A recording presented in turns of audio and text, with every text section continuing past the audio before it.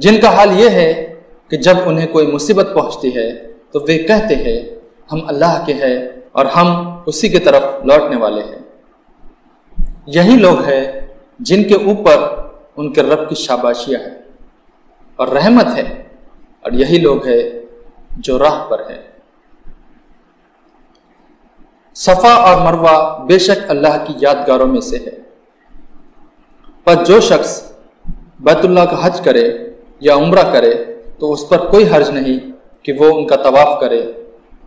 और जो कोई शौक से कुछ नेकी करे तो अल्लाह कद्र करने वाला है, जानने वाला है।